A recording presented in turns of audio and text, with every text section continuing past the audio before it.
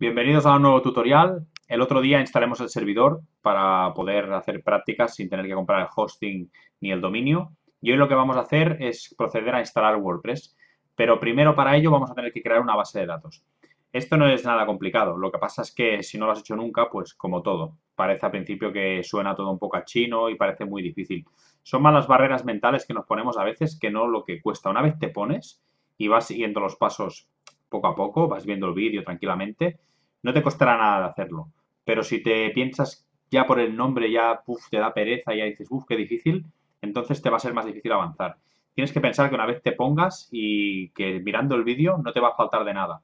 Tendrás todo lo que necesitas para poder hacer los pasos. Bueno, primero vamos a iniciar el servidor. Veis aquí abajo que no está iniciado. Nos vamos a iniciar el servidor que instalemos el otro día.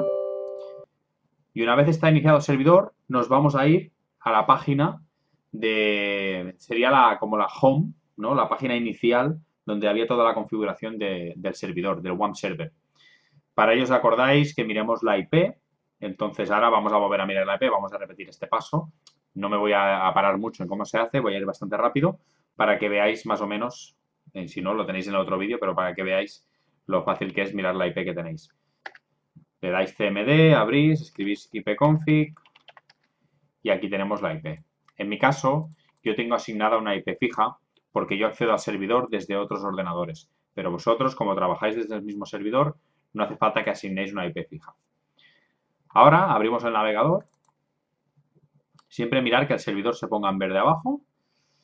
Y escribimos la IP 192. Perdón, 192.168.1.128. Y esto es la página inicial del servidor. Aquí hay mm, varias cosas que nos importan a la hora de poder instalar WordPress. Una de ellas es el PHP MyAdmin. Aquí abajo lo veis, le dais aquí y nos iremos al PHP MyAdmin, que es lo que nos permite eh, poder crear nuevas bases de datos, usuarios de la base de datos, etc. No nos vamos a detallar mucho, ni en cuestiones de seguridad, ni nada. Vamos a ir a lo fácil para que simplemente podáis entrar, crear una base de datos e instalar WordPress.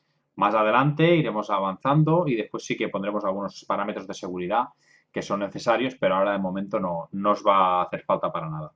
En usuario ponemos root, tal cual, escrito con dos O's y una T, y contraseña lo dejamos en blanco.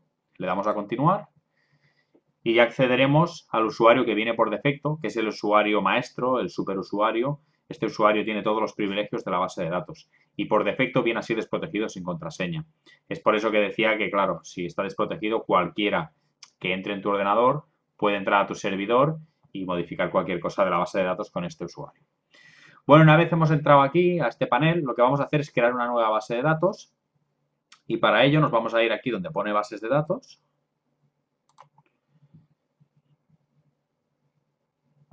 Y una vez en base de datos, simplemente le damos un nombre aquí donde pone nombre de la base de datos, le ponemos WordPress.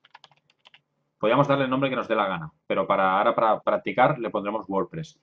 Todo en minúsculas, siempre todo en minúsculas, para cualquier cosa que toquéis de bases de datos, etcétera, todo en minúsculas. Le damos en crear. La base de datos ya se ha creado y ahora ya tenemos lo que necesitamos para instalar WordPress. Cuando instalamos WordPress nos pide el usuario de la base de datos, la contraseña del usuario de la base de datos, el nombre de la base de datos y el nombre del servidor, ¿vale? Con estos parámetros lo tenemos todo. Otra cosa que nos enseñé en el primer paso, porque me gusta enseñar a la gente eh, cómo son las cosas por debajo, ¿no? Y para acceder al servidor, en verdad, accedemos a la IP de nuestro equipo. Pero, si nosotros abrimos otra ventana y escribimos localhost, accederemos allí mismo porque es localhost, es nuestro servidor local. Esto se hace siempre que lo hacemos desde nuestra máquina, ¿vale? Es otra manera de acceder. Con esto no hace falta que recordemos IPs ni nada, es más sencillo y a lo mejor pensáis, hostia, ¿por qué no me lo decía desde el principio? Por lo que os decía antes, ¿no? Me gusta que entendáis cómo funcionan las cosas por debajo. Realmente cuando pones localhost te estás apuntando a la IP de tu máquina. Y esto, si cualquier rato configuramos las cosas para que podamos acceder desde fuera de la web, es importante que sepáis la IP porque desde fuera, o sea, desde otro ordenador, si quisiéramos acceder al servidor de este ordenador, no valdría con poner localhost, tendríamos que poner la IP, ¿vale? Bueno, ahora que ya sabéis esto, Podemos cerrar ya el administrador, el phpMyAdmin, porque ya hemos creado la base de datos. Ahora lo que vamos a hacer es irnos a WordPress.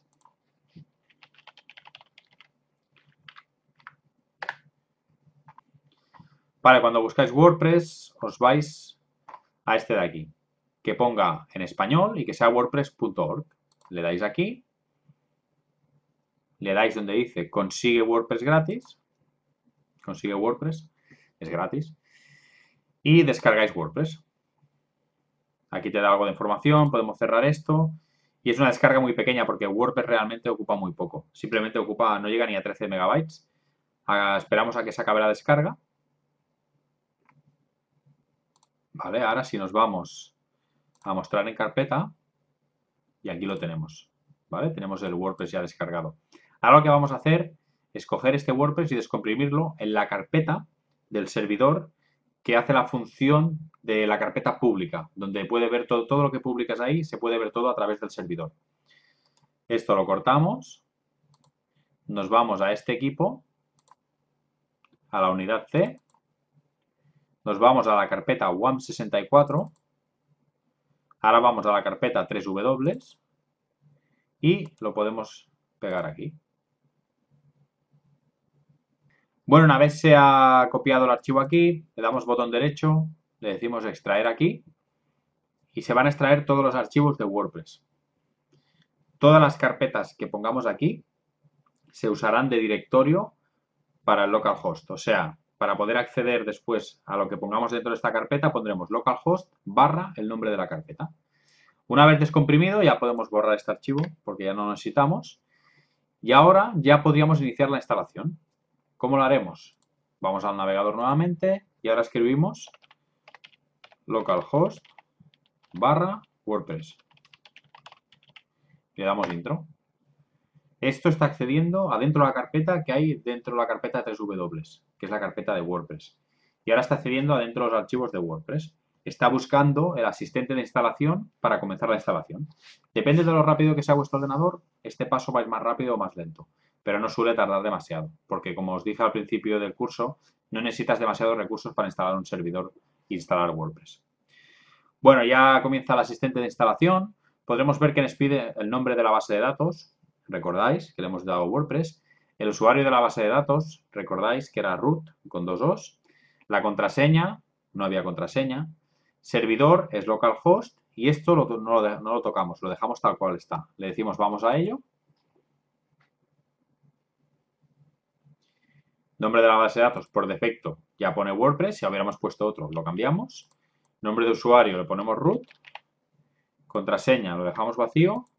Localhost, localhost y le damos en enviar. Vale, nos dice que, ya está, que ha salido bien. Si hubiera algún paso que hemos hecho mal, nos lo diría. Como que el usuario no corresponde con la base de datos, cualquier cosa. ¿Vale? Si hubiéramos hecho cualquier cosa mal, nos lo diría. Le damos a ejecutar instalación Vale, ahora lo que haremos es dar los parámetros de nuestro sitio. Como es una web de prueba, le diremos web de pruebas. Nombre de usuario es el nombre de usuario que usaremos para acceder a WordPress. No tiene nada que ver con todo lo que has aprendido, sino que es un nombre de usuario para entrar a trabajar a WordPress. Pondremos nuestro nombre, en este caso pongo Mark. Contraseña, ponemos la que queramos. En mi caso voy a poner un 2, 3, 4 porque es una cosa de prácticas y me da igual la seguridad en este momento.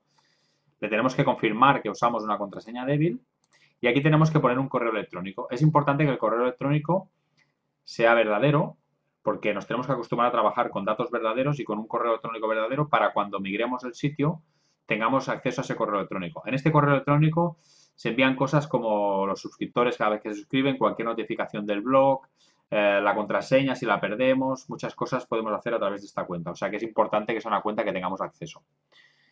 ¿Vale? Le voy a poner mi cuenta de correo electrónico. Que por cierto, es la, esta cuenta de correo electrónico es donde podéis contactarme si tenéis cualquier problema. Pues me podéis enviar un mensaje aquí explicándome el problema que tengáis.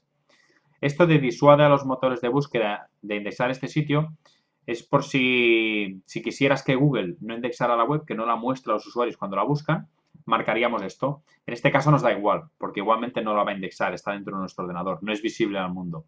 y le damos a instalar. Ahora sí que cuando le demos a instalar va a tardar de 30 segundos a un minuto, dependiendo de vuestra máquina, pero no, no tendría que tardar demasiado. Vale, pues ya tenemos el WordPress instalado. Le podemos decir que guarde la contraseña o no. Y nos dice que el nombre de usuario es Mark y la contraseña la que hemos elegido. Le damos a acceder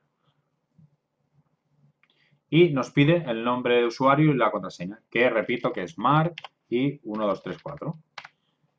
Le damos en acceder y ahora ya entraremos al panel de WordPress.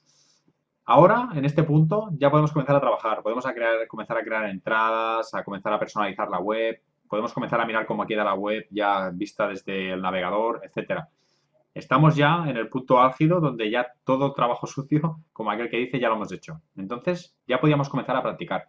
Estamos que en la tercera, la cuarta clase, y ya tienes todo preparado, ya tienes un entorno de pruebas para comenzar a trabajar con WordPress. Y aquí ya la puedes liar tanto como quieras, que ya has visto el procedimiento que hemos hecho. ¿Que te equivocas?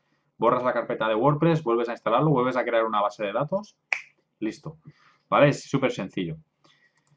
Vale, no vamos a entrar en más detalles de cómo funciona WordPress, solo os voy a enseñar cómo se accede a WordPress. Ahora voy a cerrar sesión y cada vez que queráis acceder a WordPress, olvidaros ya de la pantalla de inicio, olvidaros del PHP MyAdmin, simplemente abrís una ventana en el navegador y ponéis localhost barra WordPress barra wp admin. Le dais intro y os vais a la página de login, donde podéis poner el usuario y la contraseña. Ponemos mark y aquí ponemos la contraseña. Yo digo ponemos mar porque es mi nombre, he puesto mi nombre. Vosotros poner el, nombre de usuario que habéis escogido. Y ya estamos adentro, ya estamos preparados para comenzar a trabajar. Bueno, hasta aquí el tutorial de hoy. Espero que no te haya dejado la cabeza como un bombo. Ya sabes que me puedes enviar un comentario aquí en este vídeo. Me puedes contactar por el WhatsApp, por el correo electrónico que has visto, por el formulario de la web, por donde quieras. Cualquier duda que tengas, me lo envías. Y nada, nos vemos en el próximo tutorial. Que vaya bien. Adiós.